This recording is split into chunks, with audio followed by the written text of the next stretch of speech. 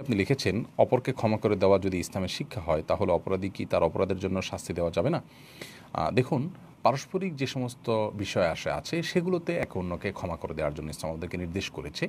কিন্তু যদি কেউ জাতীয় কোনো হক বা অধিকার নষ্ট করে বা কেউ এমন কোনো অপরাধ করে যার ইনফ্যাক্ট আপনার যার প্রভাব সমাজের উপরে পড়বে এবং গোটা সমাজ তার দ্বারায় প্রভাবিত হয়ে ক্ষতিগ্রস্ত হবে তাহলে সেক্ষেত্রে সেখানে কিন্তু ক্ষমা নয়। সেখানে শাস্তি আরোপ করতে হবে, সমাজকে সুস্থ রাখার প্রয়োজনে এবং অন্যদেরকে সতর্ক করার প্রয়োজনে।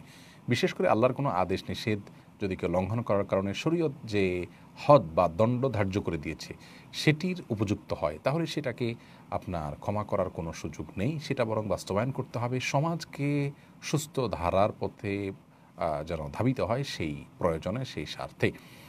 আবার এর পাশাপাশি যদি আপনার পারস্পরিক বা ব্যক্তিগত যে অধিকারগুলো থাকে, সেগুলোতে শরীয়তের কোনো দণ্ডের বিষয় আসে। সেগুলোতেও যদি ছাড় দেওয়া যায়, সেটাও প্রশংসনীয়। যেমন ধরুন আপনার প্রিয়জন কাউকে কেউ হত্যা করেছে, যিনি হত্যা করেছেন তিনি লজ্জিত হয়ে, অনুতপ্ত হয়ে ক্ষমা চাচ্ছেন।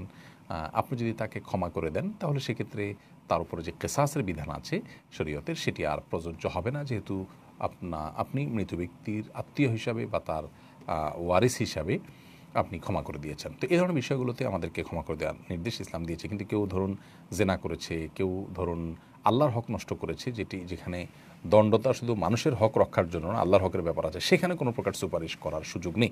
তাহলে খোলাসা কথা হলো, পারস্পরিক যে আমাদের ব্যক্তিগত বিষয় আসা আছে, সেগুলোর ক্ষেত্রে আসলে মূলত আমাদেরকে এই যে ক্ষমা করার জন্য উৎসাহ দেওয়া হয়েছে।